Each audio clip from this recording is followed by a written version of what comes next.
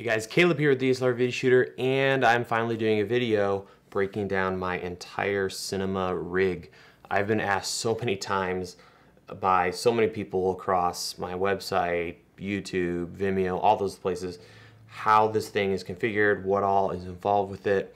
Um, I've done reviews on most of the components, but I've never done a video kind of breaking down the actual thing as a whole. So we're gonna go ahead and take it apart piece, piece by piece, show you each section and how it's put together. So let's go ahead and just jump right in. Um, first, we have the matte box. This is the Genus PV.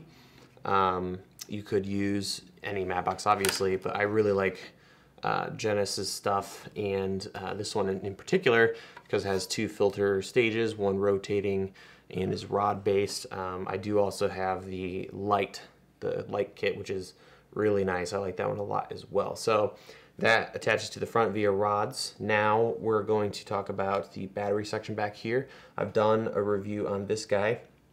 Um, really like it because you can use very standard and cheap Sony NP batteries. Um, so I like that a lot. Man, that sucker is down tight.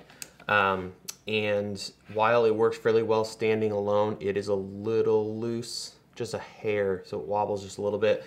So on the very back of the 15 millimeter rod setup, I have this little guy. It's a SmallRig, uh, 15 millimeter block. It just snaps on, um, and I use this for all kinds of different stuff. It's great because it has a little cheese plate. Um, so that's on the back, kind of supporting this whole thing. I'm gonna go ahead and unplug it. Um, I have two cables here. They both come with this unit. One is 7.2, I think it is volts, and that's for the camera.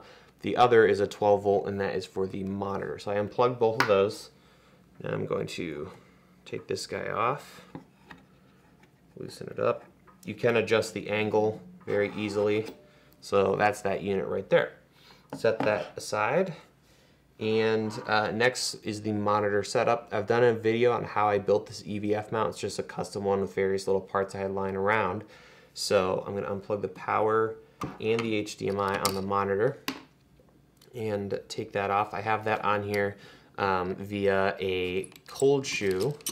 And I like that you could hard mount it. I just like it because I can take it off that easily, throw it on another camera if I need to, and uh, I can rotate it around if I need to operate from the side for whatever reason. So that's the SmallHD DP4. Love this guy. Um, perfect size for me. Really enjoy the 4.3 inch size set that aside so now I have a gazillion cables here and um, so I'm gonna go ahead and remove this rod which is a part of the EVF setup.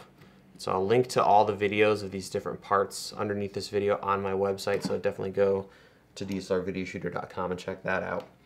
Um, now we're down to the cage and the rods. I'm gonna take the rods off. Um, these are I've had these rods forever. These are from Redrock Micro that's really on there tight. And um, I like them a lot. They're great because they're rigid. They're uh, You can do the carbon fiber. It's a lot lighter, but I much prefer a really rigid setup. And especially since these rods aren't really long, you know, I'm okay with dealing with the extra weight. Um, they're really basic. There's no threads on them. They're just 12 inches and uh, that seems to be the perfect size for um, you know this kind of configuration. I can still put the handles on the front and do shoulder mounted stuff. Um, great size. So those are out of the way. Um, I've got all these cables attached here because it's wired into the camera. But uh, now we have just the cage and at the bottom of the cage we have this 15 millimeter piece and that easily detaches like so. That's this guy right here. And uh, that comes with the kit of the wooden camera cage. Um, you can buy the cage without it, but uh, this allows you to attach rods to the cage. And it's great because I can grab the whole camera off of the rods um, and that's going to allow me to do a lot of handheld stuff and running around and then I can leave the matte box, you know, the power solution and um, the actual uh, rod base all behind on the tripod. So everything you see here comes with that one kit from Wooden Camera. And then at the bottom I have my Manfrotto plate. So let's set that aside. And now we're just down to the basic cage.